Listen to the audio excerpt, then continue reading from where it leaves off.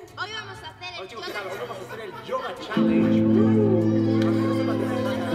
Millones de personas han compartido el reto Yoga Challenge en sus redes sociales.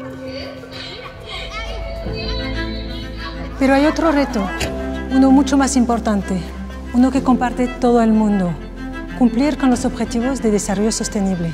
lograr la igualdad entre los géneros y empoderar a las mujeres y niñas.